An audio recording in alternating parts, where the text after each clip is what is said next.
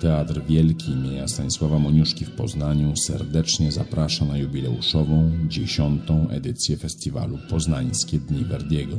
W dziesięciu spektaklach wystąpią gwiazdy światowych scen operowych. Ewa Podleś, Andrzej Dobber, Artur Ruciński, Achilles Machado, Jano Tamar, Vittorio Vitelli. Jedyny taki festiwal w Polsce. 6-21 listopada Teatr Wielki w Poznaniu. Zapraszam, Michał Znaniecki.